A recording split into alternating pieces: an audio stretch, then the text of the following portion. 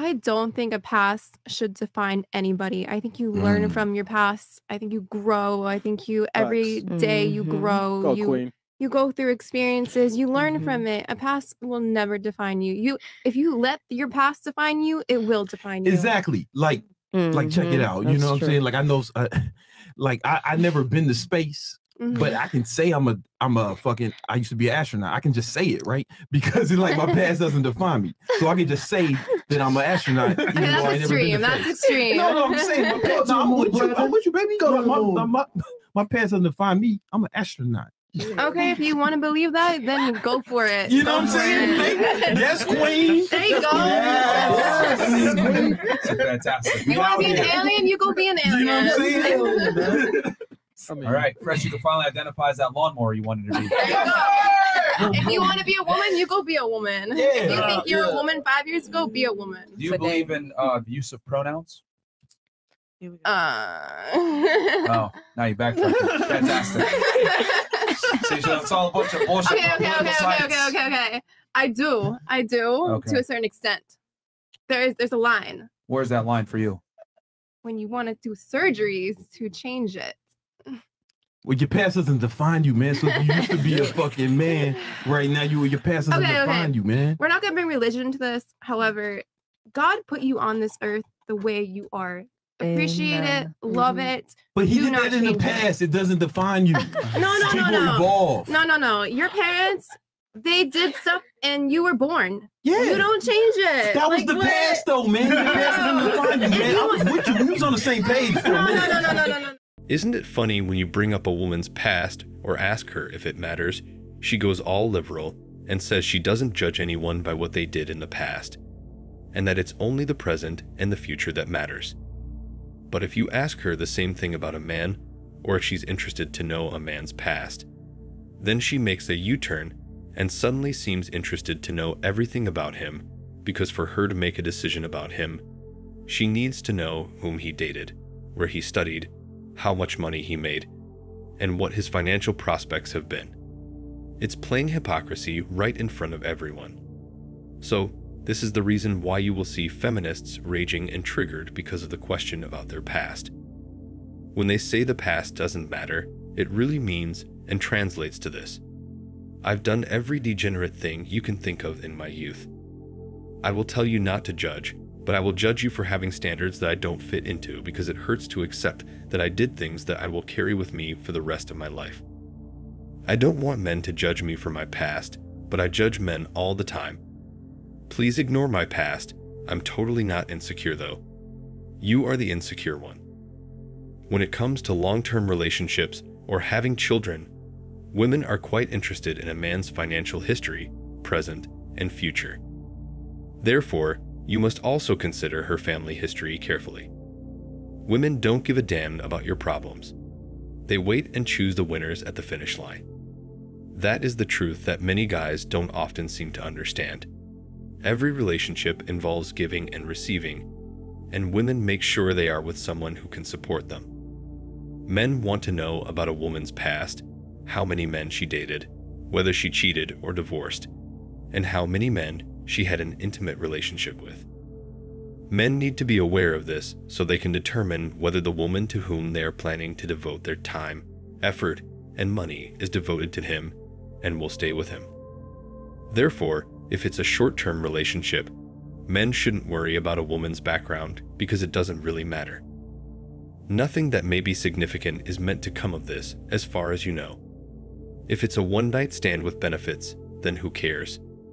However, it is crucial to understand her background if you plan to date her long term or, more precisely, if you're seeking the girlfriend or someone to start a family with. In reality, she is quite interested in your abilities to care for and defend yourself as a man and as a strong male role model in a family since she is going to spend her life with you and raise children. I'll explain why you should be interested in learning about her background. A woman has a very low chance of developing a healthy monogamous bond with one man over the course of a lengthy period of time if she has a high notch count, a history of promiscuity in which she slept with many men, and she lost her virginity at an early age. Numerous studies have been done on this. If you compare two ladies, one who started at age 20 and has a notch count of 2 versus one who started at age 16 and has a notch count of 50, the former is by far the wiser option. There will be a lower chance of divorce for you. Your chances of developing a strong relationship with her will be greater. At this point, some claim that men and women are the same. Usually, what happens is that people ask why males can be promiscuous without consequence, but women can't. Men and women are complementary to one another's lives, which is where the freak show begins. They are not the same. They are not alike. They are extremely unlike. Men have enormous amounts of testosterone, after all. Estrogen is present in women in large amounts. When it comes to hormone levels and how we interact with one another intimately, we are extremely different from each other's points of view, and all the research and data show that women who have a history of promiscuity find it difficult to develop good, long term monogamous ties with males. If you're a woman watching this and you're hoping to meet a good guy to have a family with, don't be a garden tool, and don't go tossing it about to every person who shows you some attention. That's simply the reality of the intimate market. You want to maintain your attractiveness, so make sure your notch isn't something that would raise most eyebrows. That is simply the way things are, and you know that no amount of fighting, finger pointing, or shouting can ever change that. It will always be that way.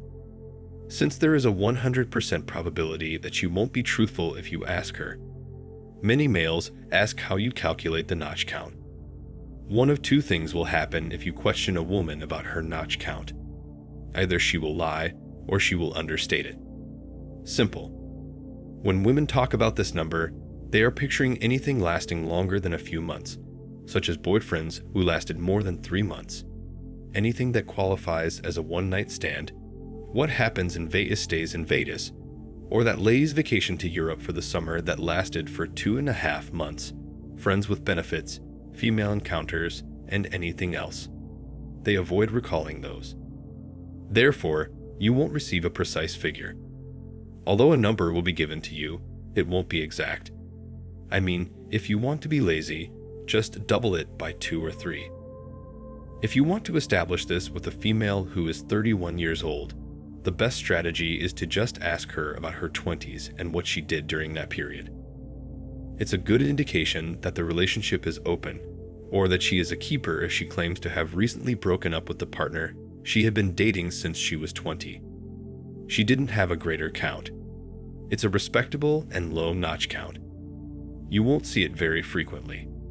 Instead, you'll likely encounter more counts who say things like they traveled across Europe throughout their 20s, or that they worked at an island festival, or that they were on a cruise ship for five years. In actuality, you'll never learn the precise figure. You need to be quite careful about her intimate past because when it comes to long term partnerships, or having children, you are very anxious about your financial future. If you're not, you may put yourself in a lot of trouble. So, in a nutshell, get to know her past before you commit to her, guys. Otherwise, there will be a lot of regret and misery waiting for you if you end up with the wrong person. Women really don't understand the concept of equality, even though they're the ones who are promoting it and talking about it all the time. They want selective equality, where they get to select the metrics that should be used to analyze them, and then select the ones used to analyze and judge men.